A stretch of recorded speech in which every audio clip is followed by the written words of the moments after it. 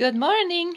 I'm in uh, this sticky situation. I received this really nice devotional from my church, but do you see the little crease and the sticky note? It got uh, stuck from the envelope.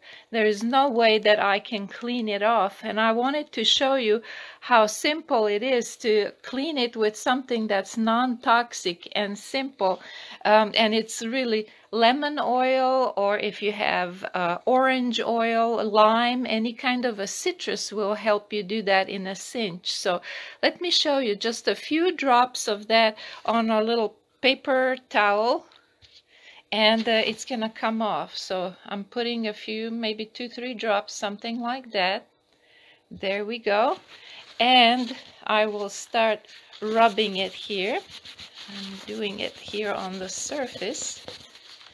See how it's already let's see so you can see the sheen of it.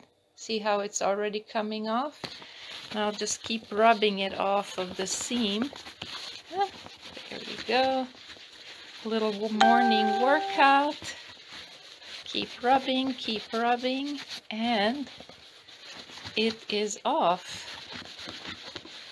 Here it is. Just maybe, how long was this? 30 seconds or something like that. Look at that.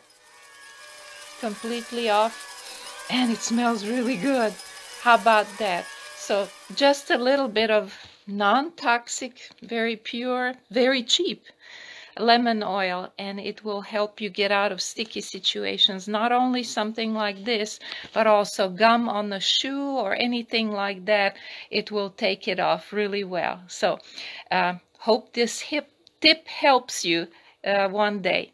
Take care. Bye-bye. Have a good day today.